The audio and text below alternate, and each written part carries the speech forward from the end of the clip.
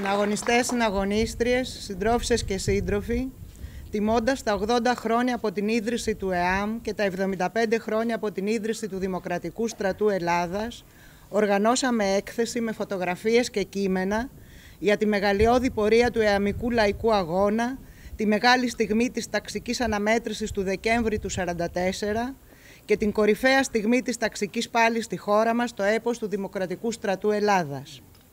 Παρουσιάζουμε την έκθεση στο Μουσείο της Εαμικής Εθνικής Αντίστασης στην Κεσαριανή, στο Σκοπευτήριο. Στην Κεσαριανή των Αγώνων και των Θυσιών, στο χώρο Σύμβολο, όπου έγινε η εκτέλεση των 200 ηρώων κομμουνιστών την Πρωτομαγιά του 1944. Το μεγάλο έπος της αντίστασης και της απελευθέρωσης του λαού μας από την τριπλή φασιστική κατοχή ήταν έργο του ΕΑΜ, το οποίο ιδρύθηκε με πρωτοβουλία του ΚΚΕ. Αποτείουμε φόρο τιμής σε όσους και όσες έδωσαν τη ζωή τους ή έμειναν ανάπηροι στα πεδία των μαχών, είτε μάτωσαν στις φυλακές και τις εξορίες, αγωνιζόμενοι για την απελευθέρωση της Ελλάδας από τους φασίστες, για τη συντριβή του φασιστικού ιμπεριαλισμού. Μετά την ίδρυση του ΕΑΜ το Σεπτέμβριο του 1941 ιδρύεται ο ΕΛΑΣ, το ένοπλο τμήμα του ΕΑΜ. Το Φλεβάρι του 1943 ιδρύεται η ΕΠΟΝ που συσπήρωσε στις γραμμές της την πλειοψηφία της νεολαίας. Στη συνέχεια ιδρύονται οι ναυτεργατικές οργανώσεις Ελλάνο Ενώ. Δίπλα τους έδρασαν η Εθνική Αλληλεγγύη, η Επιμελητία του Αντάρτη, τα Αετόπουλα και η Οργάνωση για την Προστασία του Λαϊκού Αγώνα, η Όπλα. Με τη συσπήρωση της συντριπτικής πλειοψηφίας του λαού στο ΕΑΜ και με την ανάπτυξη της ένοπλης πάλης του Ελλάς, δημιουργήθηκαν ελεύθερες περιοχές στην Ελλάδα. Δημιουργήθηκαν λαϊκοί θεσμοί, όργανα λαϊκής αυτοδιοίκησης, λαϊκά δικαστήρια, λαϊκή πολιτοφυλακή που τροφοδότησαν τη λαϊκή μορφωτική πολιτιστική ανάταση. Οι εργαζόμενοι έγιναν πρωταγωνιστές των εξελίξεων. Το ΕΑΜ έσωσε το λαό από την πείνα με την οργάνωση λαϊκών κινητοποιήσεων και συσιτίων, με το σταμάτημα του πλιάτσικου από τις κατοχικές δυνάμεις. Οργάνωνε απεργίες, διαδηλώσεις, συλλαλητήρια, προπαγανδιστική δράση, ένοπλη πάλι.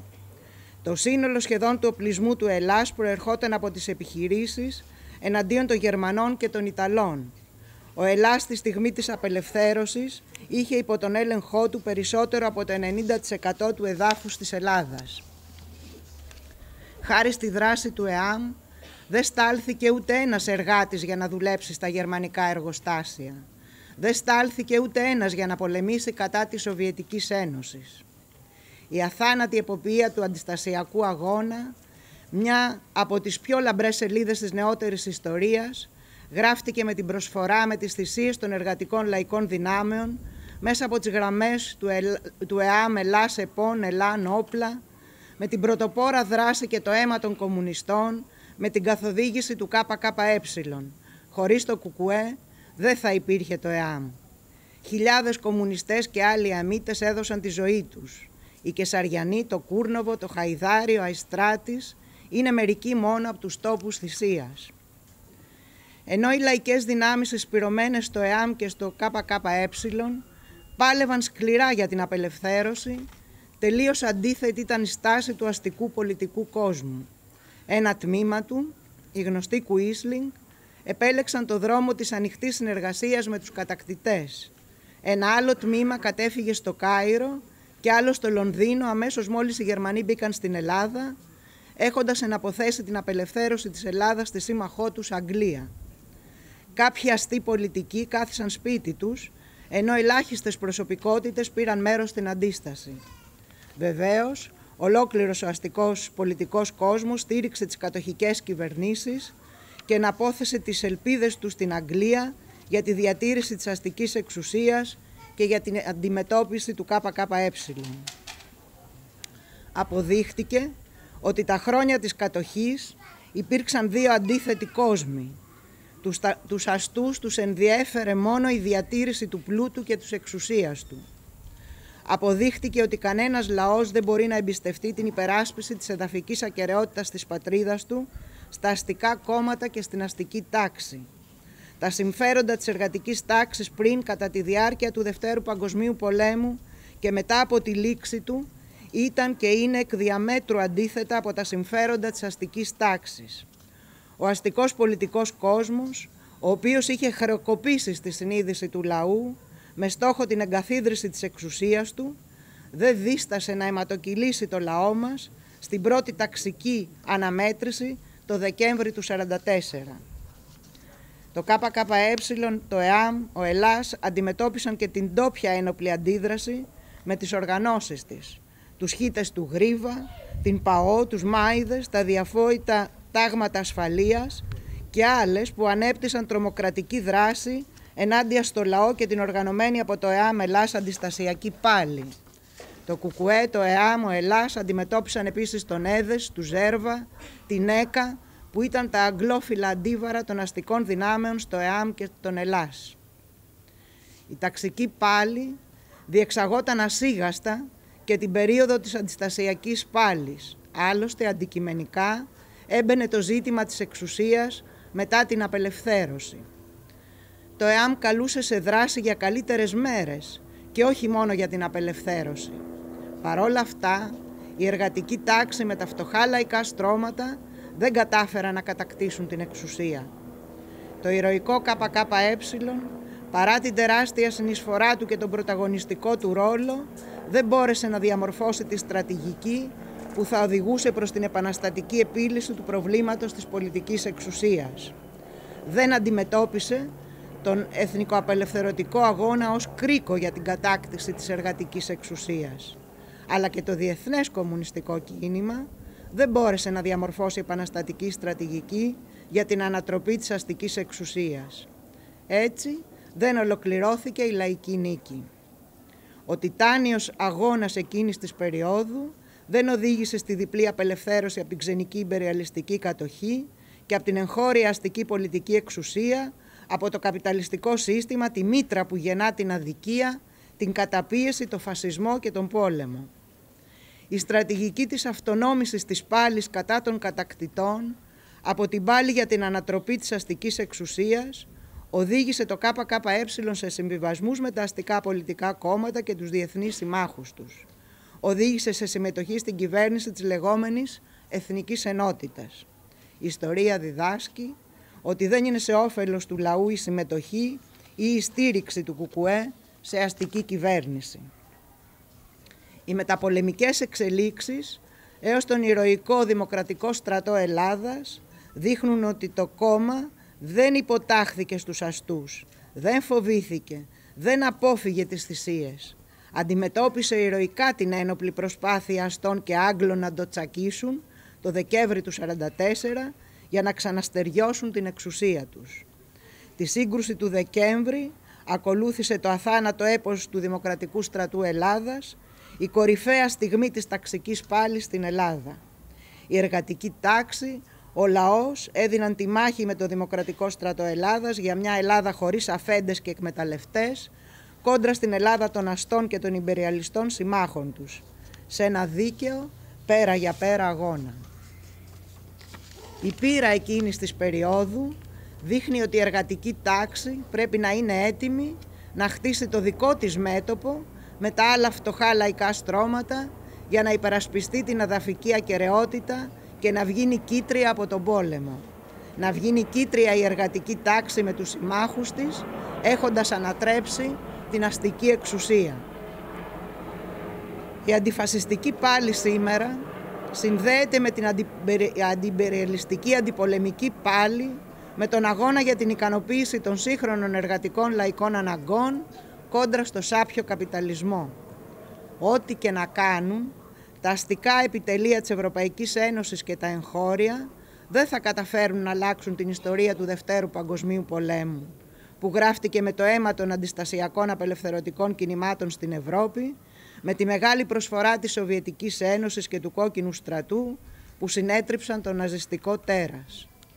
Το φασισμό, γέννημα θρέμα του καπιταλισμού, μακρύ χέρι κατά του λαού, μόνο οι αγωνιζόμενες λαϊκές δυνάμεις στο δρόμο για την ανατροπή του συστήματος της εκμετάλλευσης μπορούν να συντρίψουν και τώρα όπως τότε. Παρακολουθούμε σήμερα να εξελίσσεται επιχείρηση ξεπλήματος του φασισμού με την ανιστόρητη εξίσωση του κομμουνισμού με το φασισμό, τη θεωρία των δύο άκρων, με την κυβερνητική ανοχή σε φασιστοειδή που αποδεδειγμένα αναπτύσσουν εγκληματική δράση μέσα από μηχανισμούς που δρούν στο σκοτάδι, με την αποφυλάκηση του διαβόητου ναζιστή πατέλη της Χρυσής Αυγής. Δίνεται προκλητική ανοχή, πράγμα που κάνει ξεκάθαρο ότι ο φασισμός είναι χρήσιμο όπλο του συστήματος και αξιοποιείται κατά του λαϊκού κινήματος. Μόνο που πρέπει να ξέρουν ότι ο λαός και η νεολαία δεν τρομοκρατούνται, δεν υποχωρούν. Στην Ευρώπη οξύνεται η διαπάλη γύρω από την ιστορία των αιτιών και του χαρακτήρα του Δευτέρου Παγκοσμίου Πολέμου, με τη Γερμανία να παρεμβαίνει συστηματικά στη χώρα μας, έχοντας τη συμφωνία των ελληνικών κυβερνήσεων και με στόχο την παραχάραξη της ιστορίας του Δευτέρου Παγκοσμίου Πολέμου μέσω του Γερμανικού Υπουργείου Εξωτερικών, Ινστιτούτων, Πανεπιστημίων και Ιδρυμάτων, όπως το Ελληνογερμανικό Ταμείο για το Μέλλον και το Ελληνογερμανικό Ίδρυμα Νεολαίας, παρεμβαίνει και μέσα από το σχολικό πρόγραμμα. Η Γερμανία επιδιώκει να λιάνει την ιστορική μνήμη, ώστε να διευκολύνεται η προώθηση των στρατηγικών συμφερόντων της. Σε χώρες της Ευρωπαϊκής Ένωσης αναγνωρίζουν τα ΕΣΕΣ και τους συνεργάτες τους ως αντιστασιακούς. Γκρεμίζουν μνημεία και σύμβολα της αντίστασης και του απελευθερωτικού κόκκινου στρατού. Τα εμπερελιστικά επιτελεία με την Ευρωπαϊκή Ένωση στην πρώτη γραμμή οργανώνουν και κλιμακώνουν λυσαλέα επίθεση διαστρέβλωσης των αιτιών και του χαρακτήρα του Δευτέρου Παγκοσμίου Πολέμου με στόχο να σβήσουν από την ιστορική μνήμη των λαών και της νεολαίας την αληθινή ιστορία που διδάσκει ότι με την πάλη τους μπορούν να ανατρέψουν το συσχετισμό δύναμης, την αστική εξουσία και να κατακτήσουν μια ζωή με ευημερία. Ο αντικομουνισμός, η ανιστόρητη εξίσωση του φασισμού με το σοσιαλισμό είναι απαραίτητα εργαλεία για την πρόθεση της αντιλαϊκής επίθεσης σε κάθε καπιταλιστική χώρα για το χτύπημα των εργατικών λαϊκών κινημάτων. Τιμάμε και υπερασπιζόμαστε την προσφορά της Σοβιετικής Ένωσης και του Κόκκινου Στρατού όπως και των άλλων απελευθερωτικών κινημάτων σε όλες τις χώρες που πρωτοστάτησαν τα κομμουνιστικά κόμματα. Βρισκόμαστε στην πρώτη γραμμή ενάντια στην αντικομουνιστική επίθεση, ώστε να αποτραπεί η χειραγώγηση των νέων, των λαϊκών δυνάμεων. Τη σημερινή δυσβάσταχτη κατάσταση του λαού διαμορφώνει η κλιμάκωση της αντιλαϊκής αντεργατικής αρωτικής επίθεσης από την κυβέρνηση, η οποία στηρίζεται και από τα άλλα αστικά κόμματα που κινούνται στην ίδια αντιλαϊκή ρότα. Διαμορφώνεται μια επικίνδυνη για το λαό συνθήκη από τους ενδιοϊμπεριαλιστικούς ανταγωνισμούς που οξύνονται με βασικό παράγοντα τη διαπάλη των Ηνωμένων Πολιτειών Αμερικής με την Κίνα για την πρωτοκαθεδρία στο υπεριαλιστικό σύστημα αλλά και την αντιπαράθεση Αμερικής-Ρωσίας. Συσσωρεύεται έφλεκτη ύλη που θα δημιουργήσει γενικότερο κύμα αποσταθεροποίησης η αστική τάξη της Ελλάδας γίνεται ολοένα πιο επιθετική. Οι νέες συμφωνίες της Ελλάδας, η στρατηγική εταιρική σχέση με τη Γαλλία, η νέα Ελληνοαμερικάνικη συμφωνία για τις βάσεις δεν είναι αμυντικές, είναι άκρος επιθετικές και στοχοποιούν τη χώρα και το λαό μας. Οι αμερικανικές βάσεις μετατρέπουν τη χώρα μας σε απέραντο αμερικανονατοϊκό ορμητήριο υπεριαλιστικών πολέμων η αναβάθμιση της εμπλοκής της Ελλάδας στους φοδρούς γεωπολιτικούς ανταγωνισμούς και τα παζάρια φέρνουν τις υπογραφές της σημερινής κυβέρνησης της Νέας Δημοκρατίας και της προηγούμενης του ΣΥΡΙΖΑ. Οι νέες συμφωνίες προβλέπουν υπέρογκα εξοπλιστικά προγράμματα χωρίς τέλος, τα οποία θα πληρώσει με μεγάλες θυσίες ο λαός. Εξοπλισμούς που δεν έχουν καμιά σχέση με, με την άμυνα της χώρας, αλλά υπηρετούν επιθετικούς σχεδιασμούς και επεμβάσεις. Ταυτόχρονα κλιμακώνεται η τουρκική επιθετικότητα, εντείνεται ο ανταγωνισμός μεταξύ των αστικών τάξεων Τουρκίας-Ελλάδας και μπαίνουν στο παζάρι κυριαρχικά δικαιώματα της χώρας στα πλαίσια της μοιρασιάς μεταξύ των υπεριαλιστών στο Αιγαίο και στην Ανατολική Μεσόγειο. Βασιζόμενοι στα διδάγματα του μεγαλειώδους αντιστασιακού απελευθερωτικού αγώνα, δυναμώνουμε την αντιπεριαλιστική αντιπολεμική δράση μας. Απαιτούμε καμιά εμπλοκή της Ελλάδας στους επικίνδυνους πολεμοκάπηλους σχεδιασμούς, αποδέσμευση από τον ΝΑΤΟ και την Ευρωπαϊκή Ένωση, Δηλώνουμε την αντίθεσή μας στον Ευρωστρατό που προετοιμάζει η Ευρωπαϊκή Ένωση. Απαιτούμε την κατάργηση της Ελληνοαμερικάνικης Συμφωνίας για τις βάσεις. Να φύγουν όλες οι βάσεις, καμιά αλλαγή των συνόρων και των συνθήκων που τα καθορίζουν. Να γυρίσουν στην Ελλάδα οι στρατιωτικές αποστολές που δρούν εκτός συνόρων. Καλούμε το λαό σε ετοιμότητα, γιατί μόνος του μπορεί να σωθεί από τους κινδύνους και τις απειλές που τον ζώνουν, οργανώνοντας την αντεπίθεσή του για την ανατροπή αυτής της αντιλαϊκής πραγματικότητας. Τον καλούμε σε επαγρύπνηση, να μην αφήσει σε χλωρό κλαρί τους φασίστες που πάνε να ανασυγκροτηθούν. Συντρόφισσες και σύντροφοι, συναγωνιστές και συναγωνίστριες. Τα διδάγματα που προκύπτουν από τη μεγάλη δεκαετία του 1940 αποτελούν υλική δύναμη για το δυνάμωμα της λαϊκής πάλης σήμερα, του αγώνα για μια κοινωνία χωρίς εκμετάλλευση και αδικία για το σοσιαλισμό.